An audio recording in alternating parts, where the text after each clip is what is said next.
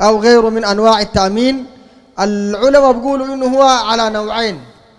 نوع أول تأمين عبارة عن هبة من الحكومة أو من المؤسسة اللي أنت بتعمل فيها. عبارة عن هبة. يعني أنت بتتعالج أو بيعوضوك ما تلف من الأغراض بتاعتك باعتبارها هدية من المؤسسة أو من الدولة. وده ما في مشكلة يا أخواننا. ده ما في مشكلة ما بيدخل في القمار والميسر. أما بقية أنواع التأمين إن كان تأمين صحي أو تأمين غير غيره من التأمين اللي أنت بتدفع فيه. أنت بتدفع شهريا أو بتدفع سنويا. جزء معين من المال مقابل هذا اللي أنت بتدفعه بعد ذاك لو حصل لك أي تلف أو مرض أو غير ذلك. حصل لك أنت بتجي أنت بتتعالج أو بيعوضوك من التأمين. عرفت؟ فده العلماء قالوا كما قال العلامة ابن باز وابن عثيمين والشيخ الألباني وغيرهم من أهل العلم قالوا ده من الميسر أو القمار. ليه؟ لأنه أنت ممكن تدفع للمؤسسة ستة سنة. مؤسسة إن كانت طبية ولا غيرها وما يجيك مرض ولا أي حاجة شديد. ما عندك أي حاجة أنت بتدفع. وفي نفس الوقت ممكن أنت ما تدفع ولا يوم واحد ما تدفع. بس الدفعة الأولى دي. سجلت في التأمين وكده بكرة طوال العربية انقلبت ولا أنت جاتك عملية بتاعت قلب بعشرة ألف دولار وعملوا لك وين؟ أنت ما دفعت ولا عشرة جنيه. بيعملوا لك عملية بعشر ألف دولار. عرفته ده يعتبر قمار يا أخوانا وميسر عند العلماء ده من القمار ومن الميسر والحرمة في هذا هي الضرر الواقع على واحد من الطرفين. إما الضرر اللي بيقع على المؤسسة أو الضرر اللي بيقع على الإنسان وأي يا أخوانا مبايعة أي شيء من البيوع فيه ضرر على جانب من الجانبين فهو محرم لقول النبي صلى الله عليه وسلم لا ضرر ولا ضرار. طيب.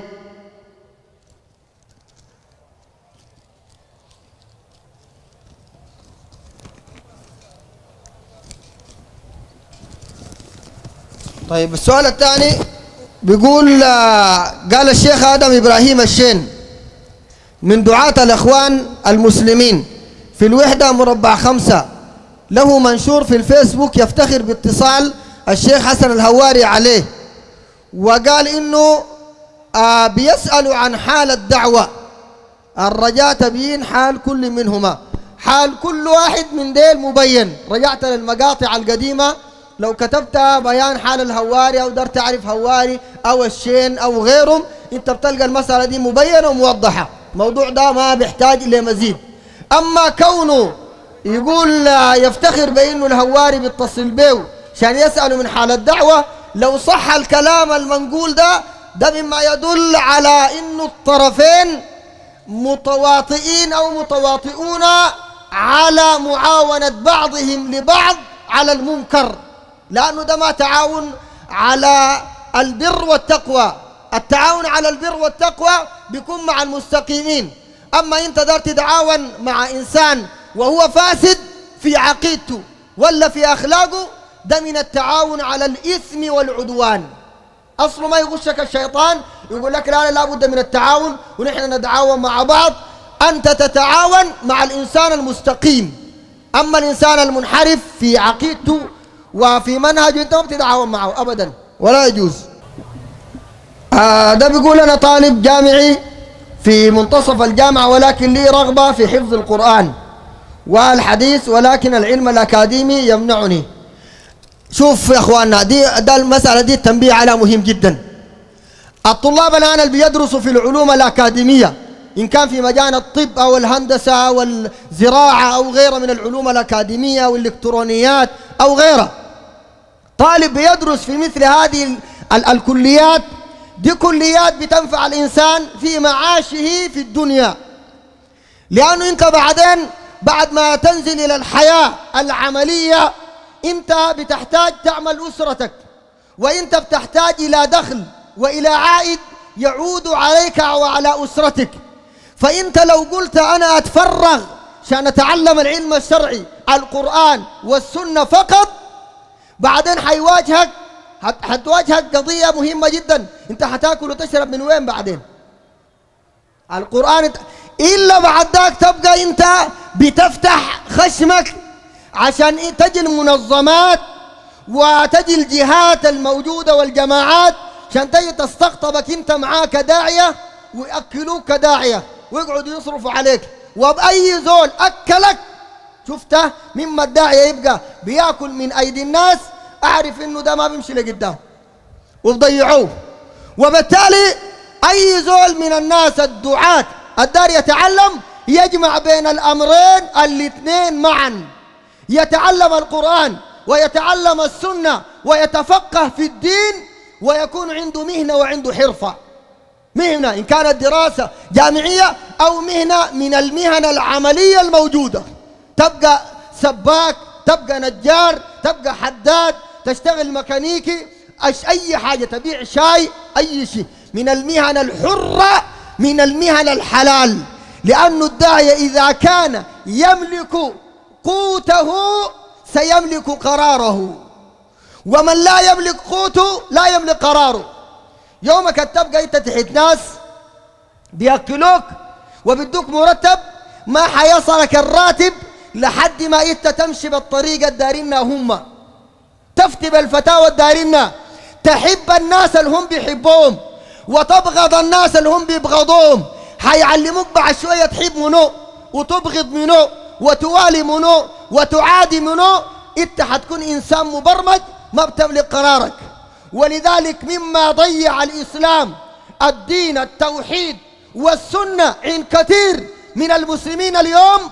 الشيء اللي ضيعوا إنه الدعاة اللي في الساحة اللي بيعملوا أغلبهم إلا من رحم الله. ما بيملكوا قرار في كلمة الحق. ما بيملكوا قرارهم لأنه طالع له في منبر خايف يشيلوا منه. اللي بيدرس في جامعة خايف يرفضوه. اللي بيدرس في مسجد خايف يطيروه من المسجد اللي هو فيه.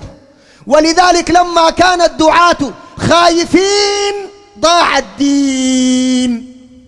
الدين ده بضيع. لما يكون صاحب الحق ما قادر يبلغ. عشان كده ربنا سبحانه وتعالى قال وإذ أخذ الله ميثاق الذين أوتوا الكتاب لتبيننه للناس ولا تكتبونه فنبذوه وراء ظهورهم واشتروا به شنو؟ ثمنا قليلا لأنه الداعية دار يقول الكلام اللي بيعجب الجلابي تعرف المعلومة دي أنت؟ بيقول الكلام اللي بيعجب الجلابي اللي بيجيب القروش. وبالتالي الدين الدين ضاع. صار الآن المتحكم في الدعوة الحقيقي إن كان في السودان ولا غير السودان. أغلب البلاد المتحكم في الدعوة قال منو؟ أصحاب الأموال. هم المتحكمين في الدعوة. هم اللي بيمرروا الدعوة على مزاجهم وعلى هواهم. هسه زي ناس الكورة. مش الأزمة دي قاعدة في مجال الدعوة أمشي المجال بتاع الكورة. الواحد يقول لك والله جابوا لنا الرئيس نادي جديد. ده ما جلابي عنده القروش. يلم لك في اللاعبين يرفض ده شلته برا ويجيب لاعب تاني ما نافع يدخله في التيم ويشيل ال- ال- ال- ال- الكوتش بتاع النادي برا ويجيب ذاك. متحكم فيها الجلابي بتاع القروش. واحد يقول لك إحنا ما عندنا راي. ما أصلا ما عندك راي. أنت الراي تجيبه من وين؟ لأنه أنت لا تملك. والذي لا يملك قوته ما يملك قراره. لذلك ربنا سبحانه وتعالى قال في عن عن أصحاب الكهف. لما قالوا لنتخذن عليهم مسجدا. بيقوا بيتشاوروا في أمرهم. ربنا قال قال الذين غلبوا على أمرهم. انت قال الرأي ده قالوا منو؟ قالوا الجلابة بتاعنا القروش. انت ما فاهم الحاصل؟ قال. قال الذين غلبوا على أمرهم. الآن انت بتكون في المسجد. بيجي واحد بيتكلم. بيكون صوفي مخرف.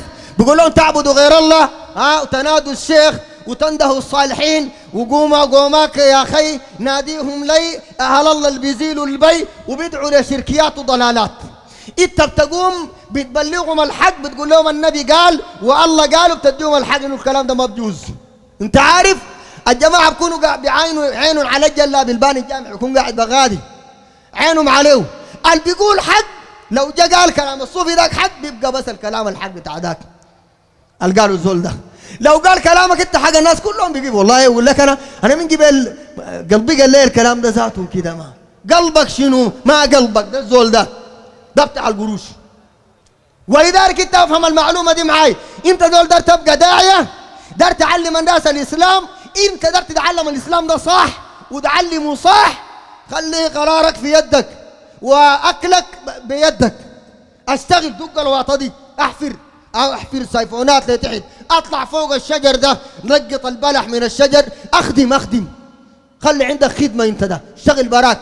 لكن ما تقدر تقول فرغوني ولا لا التفريغ بتاعي أمشي يا زول. أنت مما سويها زي ده ما بتخدم دين ثاني أعرف المعلومة دي. ولذلك الطالب الدار يتفرغ ويقعد له في خلوة. أنا بقول له أمشي أقرأ ويتعلم العلم الأكاديمي.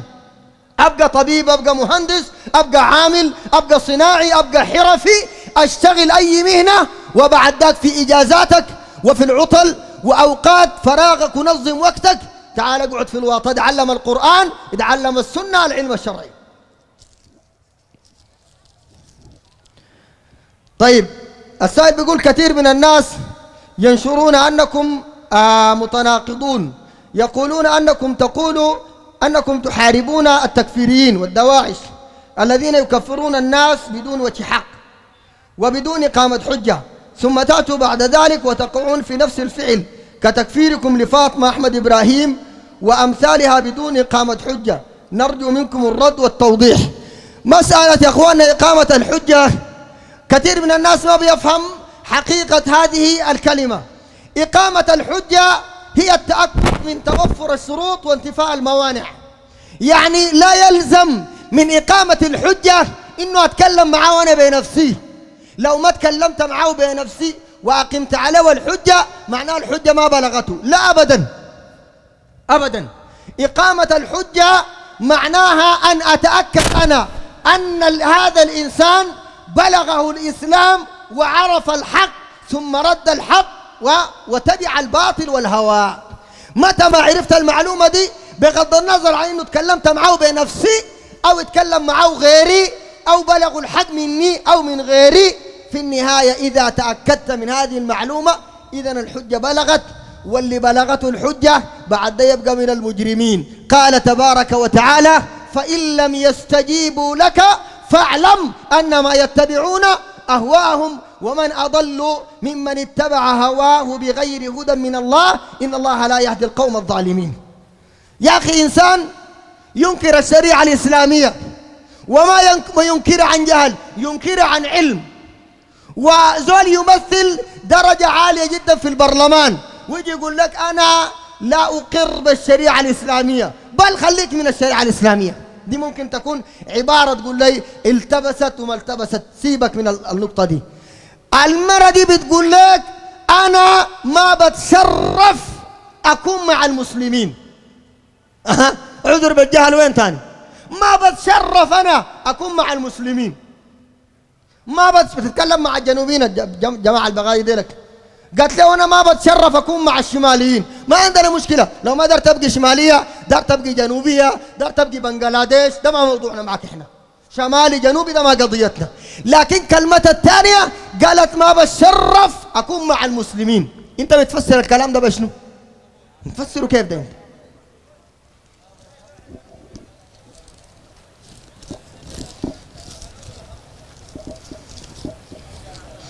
طيب. آه السؤال قال ما هو أول واجب على المسلم؟ وما أول واجب أن آه يبتعد عنه؟ وجزاكم الله خيرا. أول واجب على المسلم هو أن يعبد الله تبارك وتعالى مخلصا له الدين. أول واجب على المسلم. قال النبي عليه الصلاة والسلام فليكن أول ما تدعوهم إليه إلى أن يوحدوا الله. ده أول واجب على المسلم. والمسلم لا يؤمر بغير هذا قبله إنما يؤمر به لقول النبي صلى الله عليه وسلم فإن هم أجابوك لذلك. بتكلم مع معاذ قال له فإن هم أجابوك لذلك. يعني الليلة لما أنت تجي تدعو ناس إلى الله سبحانه وتعالى بتدعوهم للتوحيد. لو أجابوك للتوحيد قلت لهم تعبدوا الله. ما تعبدوا الشيخ. تنادوا الله ما تنادوا الشيخ. ما تقول آه نادوا الصالحين يلحقوني. وزي ده قال جيبوا لي الشيخ ويقرأ لي ياسين ويسوي لي بخرة. ويسوي لي شنو؟ تقول لهم ده ما بيجوز. تدعو الله سبحانه وتعالى وترجوه. اتفقوا معاك في الموضوع ده. انت امشي للمرحلة الثانية. بعد التوحيد مرحلة الصلاة. لأنه أول ما يحاسب عليه العبد من عمله صلاته. أول ما يحاسب عليه. فإن صلحت كما قال النبي صلى الله عليه وسلم فقد أفلح وأنجح. وإن فسدت فقد خاب وخسر. الصلاة مع عظمها يا إخواننا تكون بعد التوحيد. ده أول واجب التوحيد. طيب زول ما وحد الله ولابس حجباته والبشتنة والعقائد الخربانة وكده. ده قال لك تعالى يا مولانا علمني الصلاة. قول له لا لا ما في صلاة لسه الصلاة لسه ما وجبت. يا شيخنا أنا دار أتعلم الصلاة. لا ما وجبت لسه. لأنه قال لك فليكن أول ما تدعوهم إليه. فإن هم أجابوك لذلك. طيب لو ما أجابوني ما في دعوة للصلاة. لحد ما أول شيء تعلم. خلت بالك في ناس الليلة الواحد يجي يقول لك نبدأ لهم بالسيرة. وطبعا السيرة ما بدرسوها التدريس الصحيح. السيرة دي يا أخواننا لو بيدرسوها صح السيرة دي التوحيد ذاته والدين كله كله لأنه ده الإسلام العمل السيرة دي. أنت ما تتخيل أن ده علم سهل ده من أنفس ومن أعظم العلوم. لكن الحزبي والأخ المسلم لما يكون داري يدرس السيرة قال لي إيه؟ داري يشرد من الموضوع. داري يحكي يقول لك وفلان قاتل حتى قتل وفلان ذاك. لا لا تهرب من الموضوع ولا شنو؟ السيرة ذات توحيد. أول حدث في السيرة شنو؟ من الأحداث الداخلة في دعوة النبي صلى الله عليه وسلم يعني مش مش الأحداث اللي قبل الإسلام أول حدث بدأ به الإسلام. النبي صلى الله عليه وسلم وقف على جبل الصفا ونادى في بطون قريش يا صباحا قال لهم دي عبارة لم بها الناس. يا صباحا اجتمع أهل من قريش قال لهم النبي صلى الله عليه وسلم لو أخبرتكم ودي مقدمة. يعني وقع بال كلام اليوم. لو أخبرتكم أن وراء هذا الوادي جيش أو جيش مصبحكم أكنتم مصدقي؟ دار يطلع منهم معلومة إنه أنت ما كذاب. طلع منهم هم ذاتهم. قالوا ما جربنا عليك كذبا. قال إني نذير لكم بين يدي عذاب شديد. قولوا لا إله إلا الله تفلحوا. ده الحدث نمرة واحد في السيرة. ده أنت كحزب بتدرسه للناس ولا بتفطوا ولا جماعة ده قال يفطوا بس. الشكل دورت في أول حدث من أحداث السيرة. أها رأيك شنو؟ واحد يقول لك لا لا لا لا بس المشاكل دي ما دارينا بس خلونا هادين كده ده هادين وين؟ الإسلام ده ما بيهدى ساي الإسلام ده لما تموت أنت أنت بتكون في صراع لأنه في صراع بين الحق والباطل. ما بينتهي الصراع ده. تقدر تبرد وتنوم ده نوم ده ما في. ولذلك الزول اللي بيهرب ها وبدرس الناس أمور أخلاقية ومن السيرة نقول له إذا كان تدريس الصلاة لا يجوز قبل التوحيد فكيف تدرس الناس الأخلاق وغيرها من الأمور؟ الصلاة لا تجوز إلا أن يتعلم الإنسان التوحيد بل لو تعلم ما تنفعه. فيبقى أول واجب على الإنسان التوحيد وأول شيء يبتعد عنه الإشراك بالله سبحانه وتعالى ثم بقية شرائع الإسلام وأمور الدين كلها ما تجهل. يا إخواننا كوننا نبدأ بالتوحيد ونركز عليه ما معناه نجهل بقية أمور الدين؟ نتعلمها كلها من الصلاة وفقه الصلاة والصيام والحج وأركان الإسلام وغيرها من أمور الدين والشرائع نتعلمها كلها ونعمل بها كما أمر الله سبحانه وتعالى. نلتقي إن شاء الله الحلقة القادمة.